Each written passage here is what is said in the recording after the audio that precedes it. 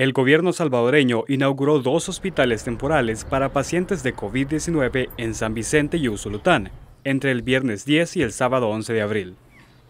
El primer hospital, ubicado en el municipio de Tecoluca, tiene capacidad para alrededor de 250 pacientes.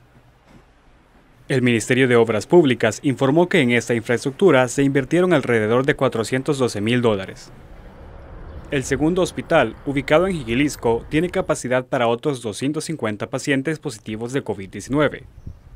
Sin embargo, el ministro de Salud, Francisco Alaví, detalló que ese centro será para los pacientes que necesiten tratamiento médico básico y que sean asintomáticos.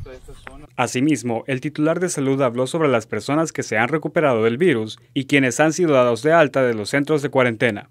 País ha tenido una buena evolución con los casos. Eh, también tenemos eh, bien importante la cantidad de recuperados, son ya 19 los, recuperados y eh, el día de ayer se hemos realizado cerca de 512 pruebas de coronavirus y solo tuvimos un paciente confirmado para coronavirus, una prueba que salió confirmada. Seguimos incrementando la cantidad de pacientes que son dados de alta de los centros de cuarentena eso es muy importante, cerca de 275 a 300 personas que cumplen los criterios de evaluación, que cumplen todas las características y los protocolos del alta para las áreas de cuarentena.